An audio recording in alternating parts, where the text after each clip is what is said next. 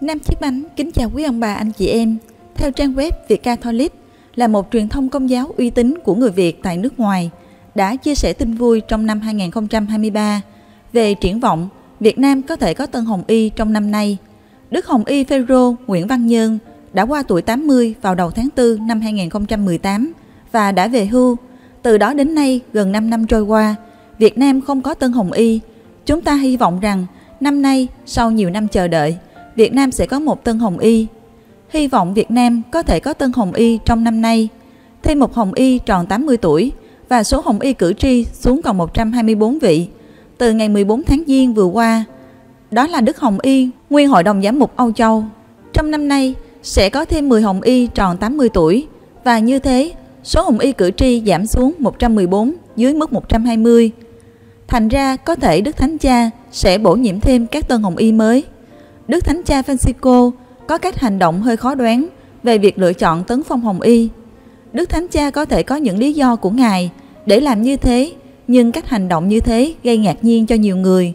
Việc tấn phong Hồng Y cho những nơi ít người công giáo như thế có thể không có tác dụng bao nhiêu so với các quốc gia có đông tín hữu như ở Việt Nam. Ngày 20 tháng 11 năm 2020, Đức Thánh Cha Francisco đã tấn phong Hồng Y cho Đức cha Sim của Brunei, một quốc gia chỉ có 16.803 người công giáo sinh hoạt trong ba giáo xứ và chỉ có ba linh mục. Tuy nhiên, việc tấn phong này đã tạo ra một phản ứng ngược từ chính quyền Hồi giáo Brunei. Họ tỏ ra kinh ngạc và khó hiểu đối với diễn biến này và coi đây là một âm mưu của Vatican. Vì chuyện này và lấy lý do đại dịch Giáng sinh năm 2020 tại Brunei đã trở nên khó khăn hơn bao giờ. Ngoài ra, còn có một âu lo khác là các hồng y trong hồng y đoàn không quen biết nhau. Việc bầu tân giáo hoàng có thể sẽ có nhiều khó khăn. Hồng y đoàn hiện nay còn 223 vị, trong đó có 124 hồng y cử tri và 99 vị và 99 vị không còn quyền bầu giáo hoàng. Năm nay, sau nhiều năm chờ đợi, Việt Nam sẽ có một tân hồng y. Trong số các vị giám mục Việt Nam, ba vị tổng giám mục vẫn là những người có nhiều triển vọng được tấn phong hồng y nhất. Nếu tính theo thâm niên tổng giám mục, trước hết chúng ta có Đức cha Du Xe Nguyễn Chí Linh, tổng giám mục Huế. Ngài sinh năm 1949, được thụ phong linh mục tại giáo phận Nha Trang vào năm 1992.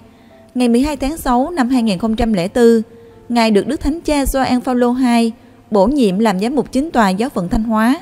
Ngày 29 tháng 10 năm 2016, Ngài được Đức Thánh Cha Francisco bổ nhiệm làm tổng giám mục chính tòa tổng giáo phận Huế, kiêm giám quản tông tòa giáo phận Thanh Hóa. Tiếp theo là Đức cha Du Xe Vũ Văn Thiên, tổng giám mục Hà Nội. ngày sinh năm 1960, được thụ phong linh mục năm 1988. Ngày 6 tháng 11 năm 2002, Đức Thánh cha Gioan Phaolô II bổ nhiệm Ngài làm giám mục Hải Phòng. Ngày 17 tháng 11 năm 2018, Đức Thánh cha Francisco đã bổ nhiệm Đức cha Giuse Vũ Văn Thiên làm tổng giám mục Hà Nội. Sau cùng là Đức cha Du Xe Nguyễn Năng, tổng giám mục Sài Gòn. Ngài sinh năm 1953, được thụ phong linh mục tại giáo phận Xuân Lộc năm 1990. Ngày 25 tháng 7 năm 2009, Ngài được Đức Thánh Cha Benedicto XVI bổ nhiệm làm giám mục chính tòa giáo phận Phát Diệm. Ngày 19 tháng 10 năm 2019, Ngài được Đức Thánh Cha Francisco bổ nhiệm làm tổng giám mục Sài Gòn.